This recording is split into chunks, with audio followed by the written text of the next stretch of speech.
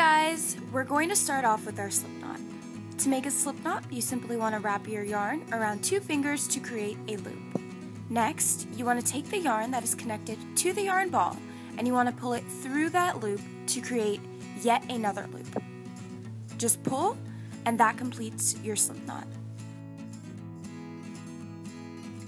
Next, we're going to chain 60. You can chain any multiple of three that satisfies the circumference of your head. So, to make a chain, what you're going to do is simply yarn over and pull through your loop. That completes one chain. You're going to continue to do this until you reach your desired amount of chains. Remember, it must be a multiple of three.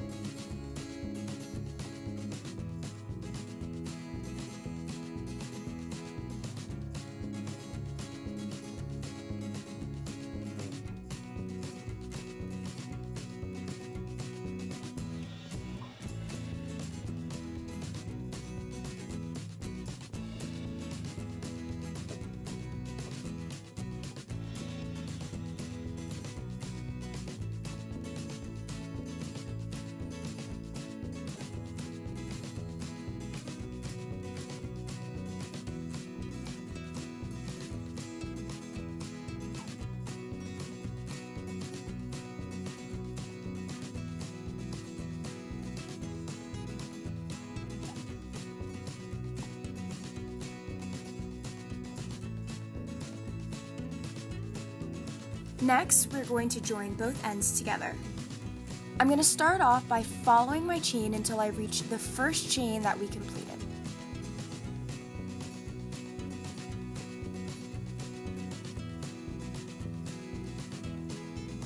Afterwards, I'm going to take my hook and I'm going to insert it into that first chain. Then, I'm simply going to yarn over and pull through both loops on my chain.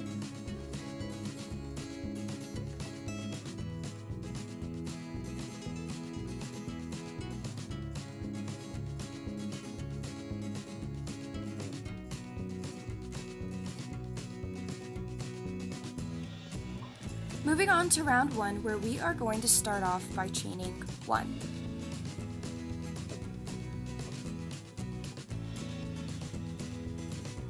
After we chain one, we are going to complete one double crochet into the second chain from the hook and every chain around.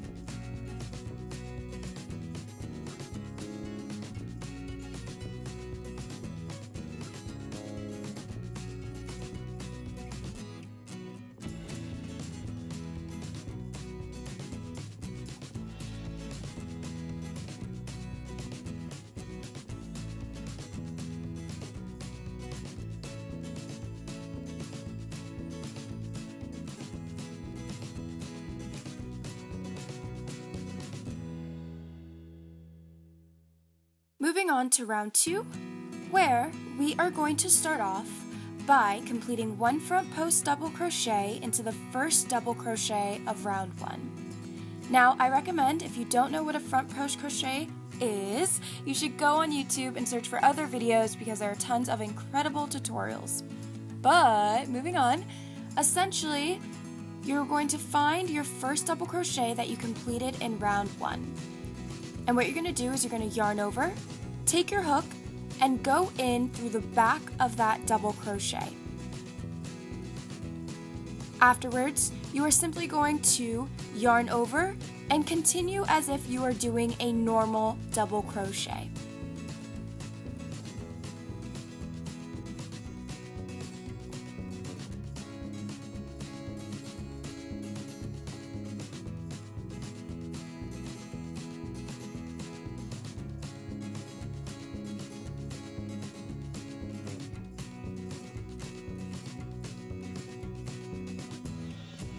Next, you're going to mark this stitch with a stitch marker because this stitch represents the first stitch of round two.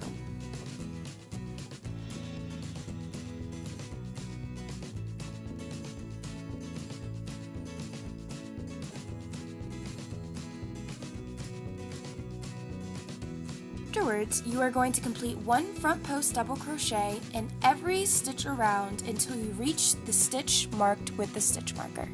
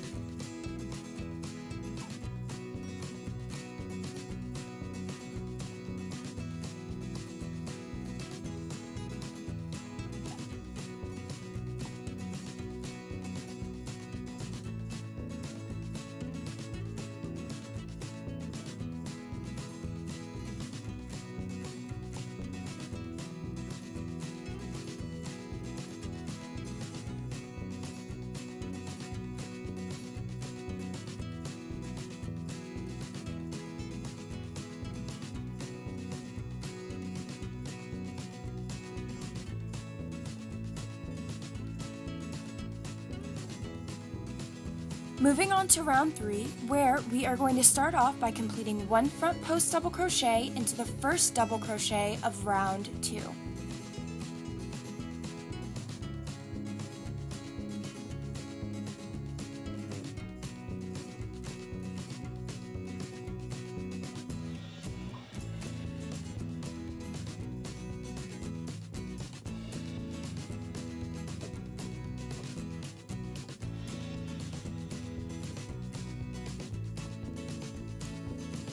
We are going to mark this stitch with the stitch marker because this stitch represents the first stitch of round three.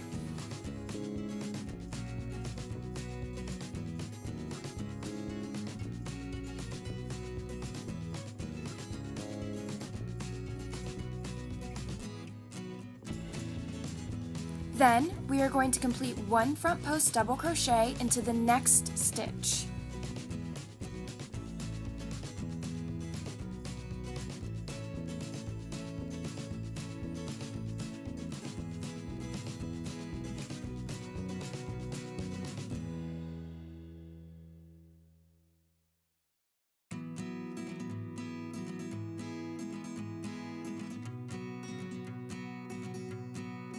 Then, in the following stitch, we are going to complete two front post double crochet. And that's essentially the same thing, except for you're just doing two instead of one.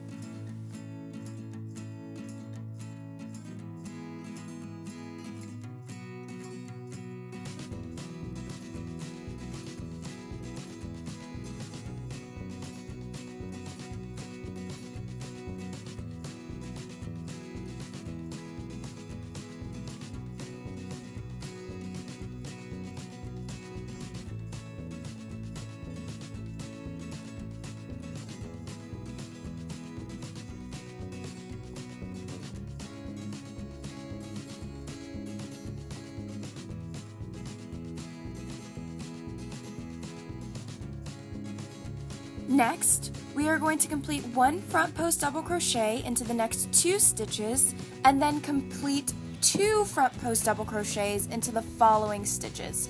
And you're going to do this until you reach the stitch marked with the stitch marker. Remember, the pattern is in the description box in case you get confused.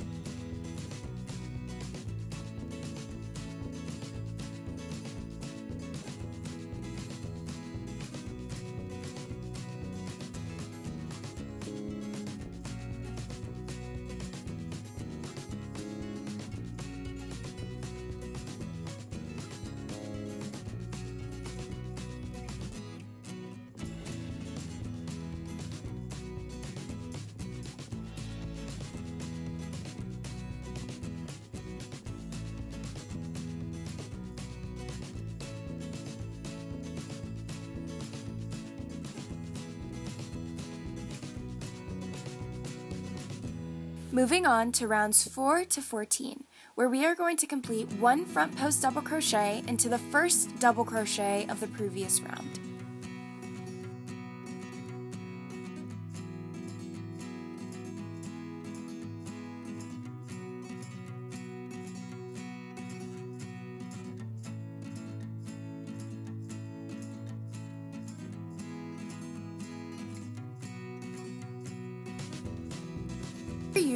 We are going to mark this stitch with our stitch marker because this represents the first stitch of your current round.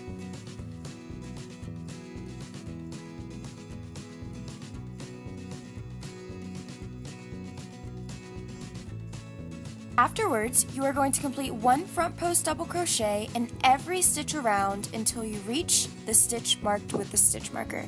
Keep in mind that you are doing the same thing for rounds 4 to 14.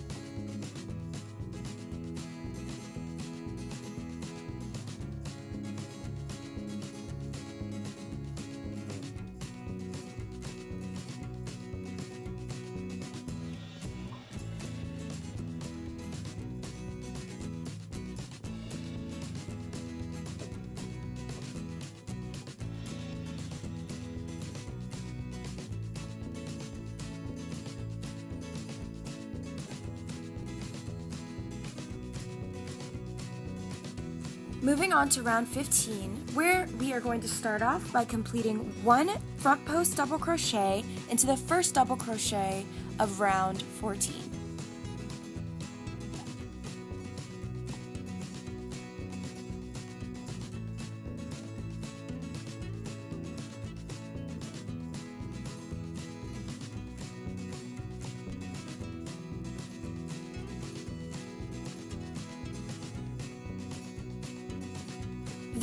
Simply mark this stitch with your stitch marker.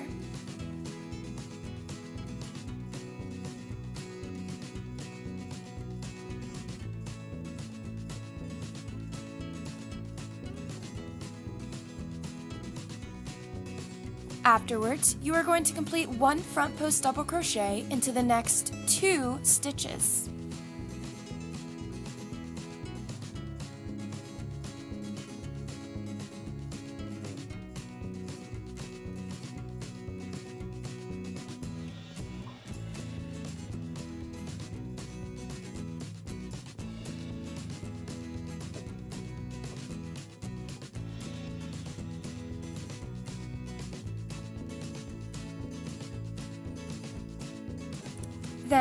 Are simply going to skip the next stitch. Afterwards, you are going to complete one front post double crochet into the next three stitches and skip the fourth stitch. Repeat this until you reach the stitch marked with the stitch marker.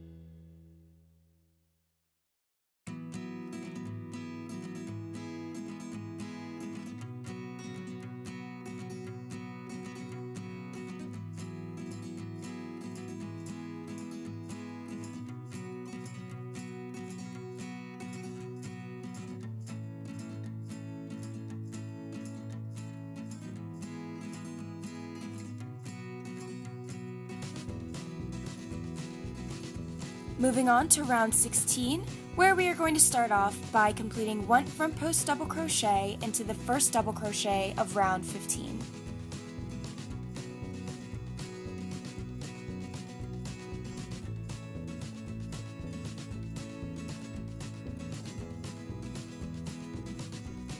Then you want to mark this stitch with your stitch marker.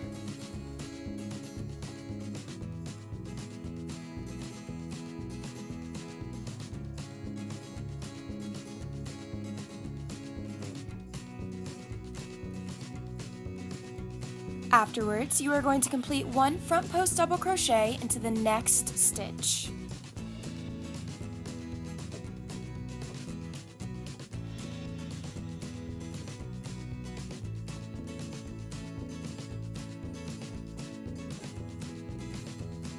Then, skip the next stitch.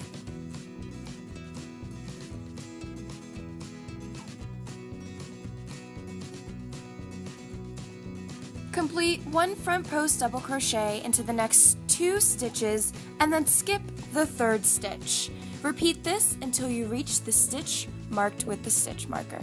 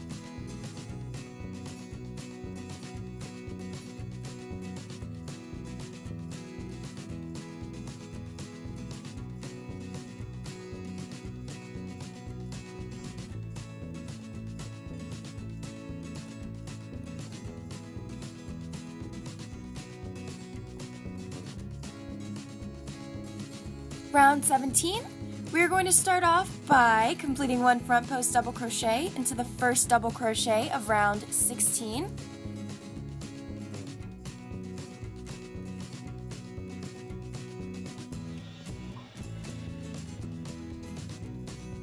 Afterwards, you want to mark this stitch with your stitch marker.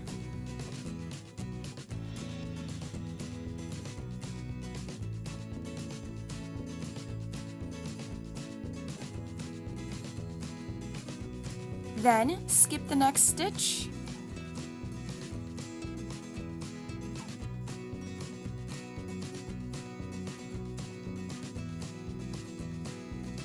Afterwards, complete one front post double crochet into the next stitch. Then skip that stitch and continue to repeat until you reach the stitch marked with the stitch marker.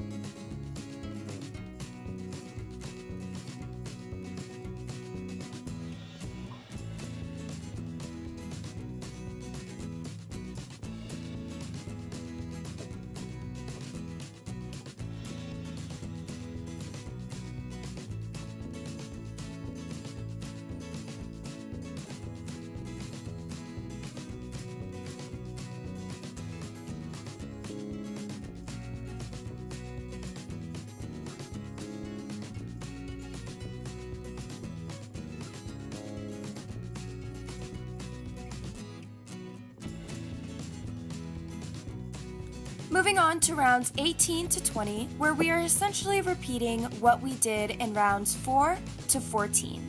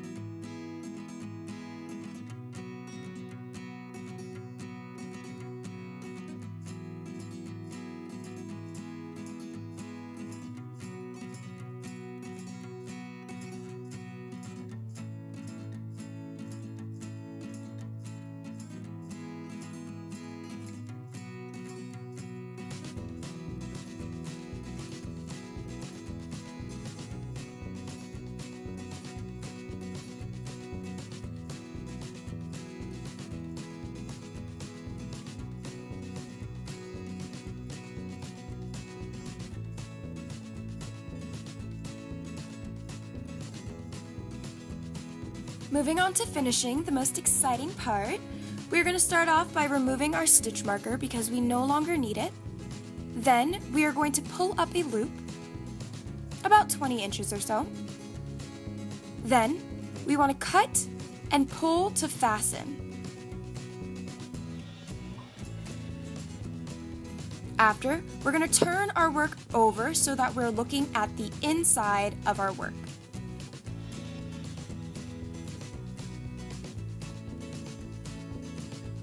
Afterwards, we're going to attach a needle to the yarn that we recently just pulled up.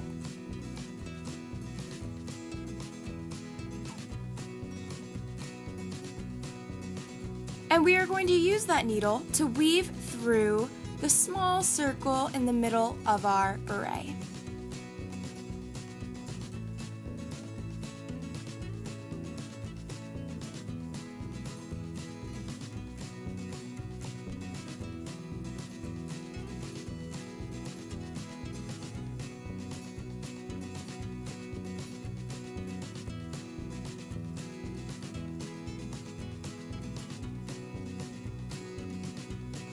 Then we are going to tighten that circle so that we no longer see a gap. Only to then tie some knots. Now I can't tell you how specifically I did these, but I did it and it worked.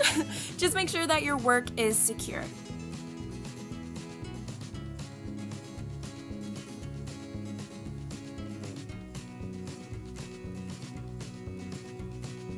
Then you just want to cut